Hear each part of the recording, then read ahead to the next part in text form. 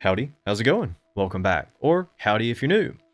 Today is an exciting day. We finally have the ROG Ally X Hall Effect joysticks from Handheld DIY. And today I'm going to be installing them and I'm going to give you the full tutorial on how to calibrate them, get them set up, and I'll give you a couple of tips and tricks along the way that I found to make things easier. I've also done some testing off camera. Well, actually on camera, I had a live stream. I'll link up above if you want to see some in-game gameplay. Definitely go check that out. We had a lot of fun and I really appreciate all of y'all who showed up and hung out. Call of Duty matches were pretty insane, especially towards the end. But these things give you so much more range of motion and accuracy and sensitivity. I think it's worth it, 100%. But you should definitely hear my full thoughts as we go along and see if there's any potential caveats that might scare you away. It's definitely not for the faint of heart, but it's also not for only the experts either. It's a pretty easy mod that I would rank on a scale of 1 to 10 being maybe a 6, so it's pretty easy. If you've been able to put on these thumbstick caps, like the PS5 thumbstick caps, you could definitely do this mod. It's not hard at all. There's only three screws for each joystick and then you'll just need to calibrate them, but there is a little bit of caveat with that calibration method. It's not as easy as you think, but also not as hard. So let's go ahead and dive right on in and I'll show you exactly how to install them and then we'll get to the calibration process. And a huge shout out to the channel OGs. Thank you so much for all your loyal support. And I'll leave links below for all of this stuff. And you can use code CPPC TEK to save you a little bit of money and help out the channel at no extra cost to you. So let's go ahead and get started. First thing, you're going to make sure that your ally is turned off and you'll flip it over. I've already removed my back plate, so you need to remove yours, of course. There's a couple of screws. This screw is captive. Go ahead and remove all the screws out of it. Run your finger along the top edge and then on the sides, and it will gently allow you to open it up like this once all of that stuff is popped off. Then inside of here, you're going to see that there is a flipper lever. You're going to gently flip that towards the cable and always be careful with this when you're opening up your ally. You don't want to damage this cable. You're going to set this down to the side. Now you can see we've got the Hall effect over here and then we've got the stock over here. I'm only going to do this side on camera because obviously if you know how to do this side, it is the exact same over here. There is no difference with the exception of one thing, this top screw. This top screw is a long boy and all of the others are a short boy. But I'm going to quickly give you a demonstration of the differences between these two Hall effect sticks. They're both encapsulated and built into one little unit, so there's no soldering and no tricky business except for the calibration. You can see on the stock board, there are no buttons, but on the handheld DIY, there are two buttons. The K1 button is going to allow you to calibrate the outer zones or outer limits, and then the K2 button is going to allow you to calibrate the center point where it actually is going to center. When you put these in from the factory, you will have to calibrate them once through the hardware section on the back. So you'll need to leave your backplate off, or if you are a risk taker, you can simply drill two small holes like I did here, and those two small holes will allow you to stick or shove something in there like this little drill bit right here into those holes and end up touching these little buttons. It's riskier, maybe, to some, but if you're gentle and you're careful and you know how to line holes up and drill them, or you have like one of these little X-Cool screwdrivers with the drill bits, it's super easy. Just make sure you do this while the backplate is not attached, mark it with like a pen or a permanent marker and kind of go back and check your work and drill your small holes. And that'll make it where you don't need to pop the backplate off if you ever need to calibrate them again in hardware. But you'll only need to do this once. But here we go. Let's go ahead and swap the stick out and we'll get started. Now before you do that, make sure you unclip this ribbon cable right there. And that is pretty easy to do. You flip the lever down and pull the cable out.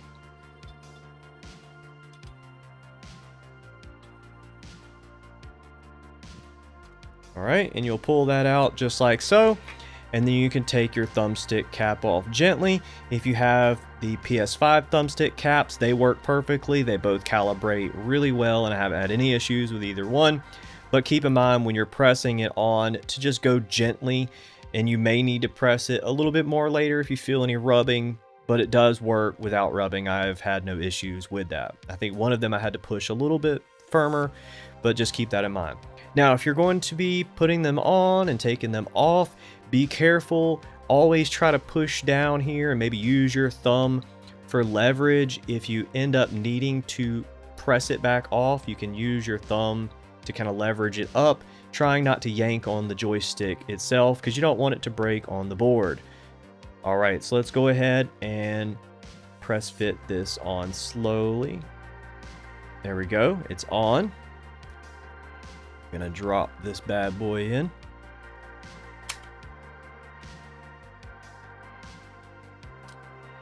Another tip is to torque the screws equally. Don't go all the way down on one until you have them all in and you can slowly kind of torque them down evenly and that will apply equal pressure on the board itself.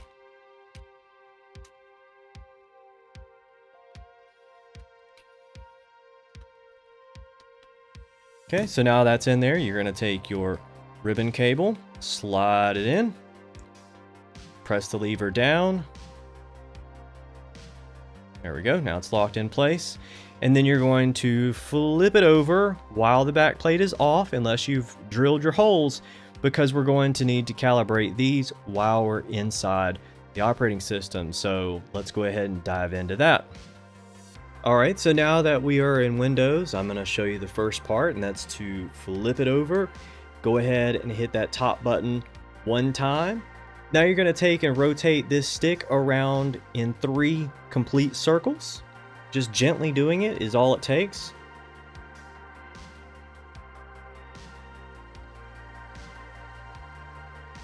If you do four for good measure, that's completely fine. And now you're going to press that button right there to stop it. And then we're going to check the center to make sure the dead zone or the center zone is good. All right, so the next thing you're gonna do is pull up Gamepad Tester. I'll leave the link below for this. Once you pull this up, you'll move your joystick, you'll scroll down and you'll see where it says axis 0 and axis 1 for each side.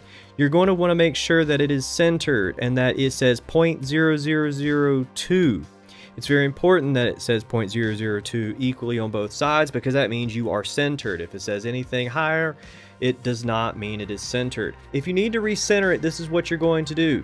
You're going to take one hand right here and try to center it until it says 0.002 and then you're going to tap that one time and then you let go and then it will be perfectly centered. Alright, now I got it. It took me quite a while to get it. That is the trickiest part. Now that you have that over with, you can pat yourself on the back. You now have done the hardest process. That's literally it.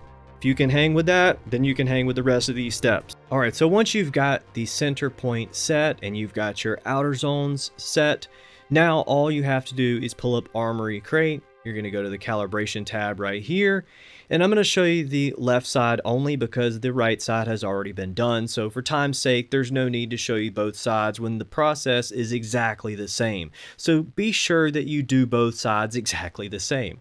So now you're going to hit A for calibrate, but hold your horses.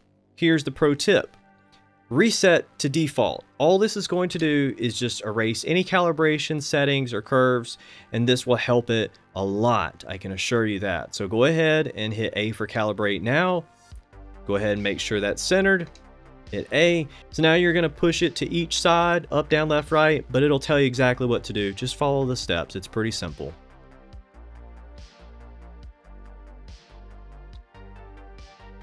All right, and now you're gonna rotate it in a circle. Don't force it, just gently do it. None of these need to be forced, unlike the originals where some people, including me, had to force the directions in order to register.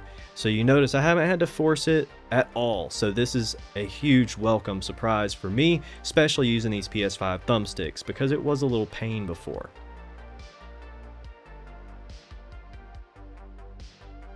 All right, and now we're done. And so we can go back into the gamepad tester website and check our calibration. All right, so now we are back in the calibration checker or whatever you want to call it, we're going to actually test out and see the circularity rate. Now keep in mind the circularity or error rate as it is being called in this instance isn't bad if it's higher. It just means it's not a perfect circle. But for first person shooters and certain RPG games, you actually have better control when they are not perfect circles. You have more range of motion. So you can see right there, we're under 10% on that side. And on this side, we are about 11.5%. But on the original ones, they were about the same, but the problem is they weren't always reaching those outer zones and they had a lot of dead spots, especially around this side over here for me. This was pretty dead on my original Ally X, so this is also a welcome touch that we have full control of our sticks and that makes a massive difference in games like Call of Duty. Now if you want to take things a step further you can go back into control mode, hit gamepad mode and you can go to the left stick and you can set up curves and you can set up dead zones and anti-dead zones. So just in the event that you can't get your dead zone perfect, you can add a little bit of dead zone right here and that will smooth things out. One thing I like to also do is set a curve. I've had pretty good luck with setting these and adjusting them, but I left them default just so you can see exactly how it's going to calibrate. I do recommend if you do set a curve to go ahead and recalibrate it just in the event that things have changed a little bit with the way it responds. Now the next thing we're going to check is the polling rate. You can think of polling rate like refresh rate on a monitor. The higher that number, the faster it's going to be able to receive inputs and it's constantly checking for inputs. So basically, if you compare a 250 hertz controller to a 1000 hertz controller, in theory, it should have a lower millisecond response time and it should feel overall quicker. Now, I've ran tests on the stock ones and I've ran tests on these. For mine, they both officially registered at 1000 hertz, but the official spec that I got from Handheld DIY for the original Ally ones was 600 hertz. So I would love to hear if yours from your Ally X are also 1000 hertz like mine, or if they indeed are 600 hertz. And you can check that here. So you're to hit one, and then you're going to hit one again for that, and then you're going to rotate it around until it hits 100%. And then it's going to check the latency. Now, the latency minimum is 0.65 milliseconds, and the average is only 1.5 milliseconds, and the maximum is 3.94. When I ran this on the Ally X OG ones, I had a maximum of about 8.5 milliseconds, and then an average of about 4, but the minimal was about 0.65. So you are getting a faster and more responsive stick than the factory and it is going to transfer into faster movements, more accurate movements, and you're going to feel like you just have way more control over those sticks. So overall, everything that I've tested on this has just been phenomenal. Now there's one last and final test that I'm going to do here now. And that, my friends, is to check for interference. You guys know that the original Ally with the Hall effect sticks had interference when you would press this trigger while having your joystick in any direction, especially all the way out to the left or to the right on this left side right here. So check this out. I'm going to hold it with one hand and I'm going to press the trigger with the other so you can see that there is no change in direction and it's not bringing it back. I'm moving it around myself and I'm checking to see if it's moving. My hand is moving, but let's set it down on a steady surface. It's very hard to do this, by the way, on camera. Let me see if I can hold it up like that. And now pressing, see, look, even if I'm not pressing anything, I move a lot. There you go. Perfect. My hand is moving it, but watch. Not at all. Zero movement at all except for my shaky hands. These things are so sensitive, they recognize the slightest amount of input. It's crazy. And then on the right side, it's the same way. We don't have any movement at all. It's just my movement from my hands. So they're not retracting backwards like they did on the original Ally. And that's because of the magnetic placement that was on the trigger mechanism itself.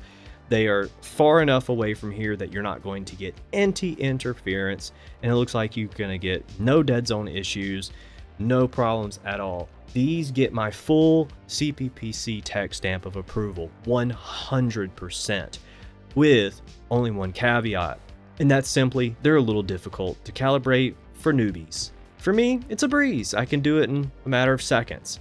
I really think that you guys should pick these up. If you want to pick up a set, please use my links or the coupon codes below. They will help me out a little bit with the channel and they will cost you zero extra dollars. So I would greatly appreciate it if you could. And if you want to see these in action again, we might do another surprise impromptu live stream like we did tonight or last night if you're watching this video today. And I really appreciate all you guys once again for showing up. That meant the world to me. That was such an amazing and fun time, and I enjoyed interacting with all of you guys. And I promise the next stream will be even better because I'll have text to speech on, and I'll try to have some extra cool things for you guys to check out. Well, you guys know what time it is, it's about that time to head on out. Huge shout out to the channel OGs again. Thank you guys so much. You're the GOAT, you're the OGs. Very much appreciate each and every one of you guys. And if you want to become a channel member and get access to members only videos or just help support the channel, that link is below. Links below for everything. Until the next one, I hope you guys have a good afternoon, good evening, or good night.